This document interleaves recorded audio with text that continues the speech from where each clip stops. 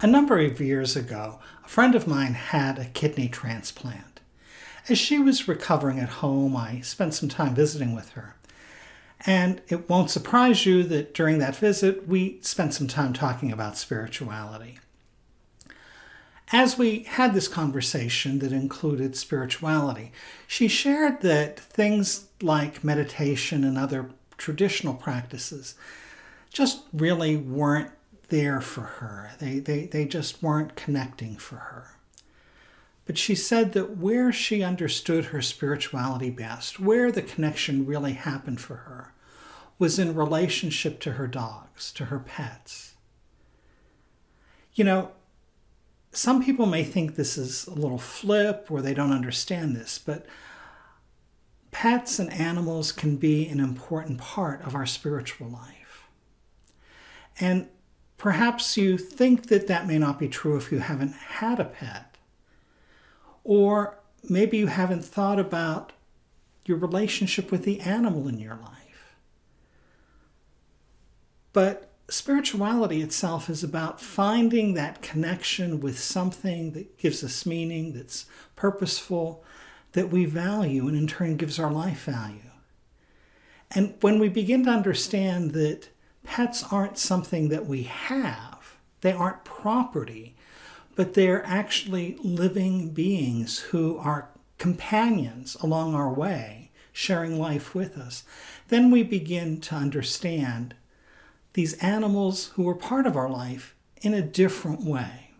So today I want to talk about pets and animals and spirituality. It's a great time while I'm talking to subscribe and to click the bell. So I grew up in a house where we had dogs, and then as I became an adult and was living on my own, I had cats as pets. Now, it's not that I like cats better than dogs or dogs better than cats. They're they're both unique creatures, and uh, the thing that was helpful for me about cats as an adult was most of my adult life I lived alone and I worked a lot, I traveled a lot, and so my schedule wasn't regular.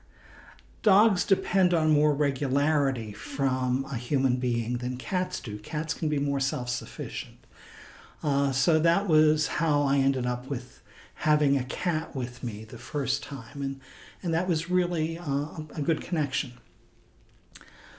But whether it's a dog, a cat, or I have friends who have horses, I have a friend who has a pet that's a tarantula, whatever the animal may be that is with you, think about what that relationship is about. And begin to think about it as a relationship. You know, one of the things that I've appreciated about the pets that have been part of my life is that they really draw me out of myself uh, they want to play, whether it's throwing a ball or a frisbee to a dog or, you know, coming up with some sort of uh, hunting game with a cat. Or there was that cat that I had that I taught how to fetch. That was a lot of fun. But the animals keep us at play, they pull us out of our serious side and allow us to be more engaged in a different side of ourselves than what other adults allow us to be. Uh, and that's a really great thing because it really opens up our creativity, opens us to thinking about things in a different way. It's a real gift, a real grace. Pets also have this way of seeking out relationship with us. You know, even when an animal is disappointed with us, when an animal's been hurt or frustrated because of whatever the reason is, that animal still comes back to us. They want to have a relationship with us. And that's even true with animals that have been abused.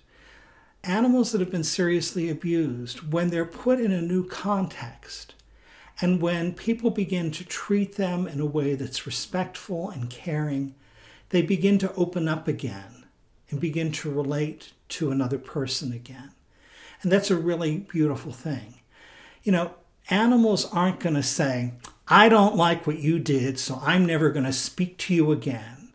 Or you're toxic, therefore I'm cutting you out of my life. Animals aren't like that. Animals don't make those kinds of distinctions.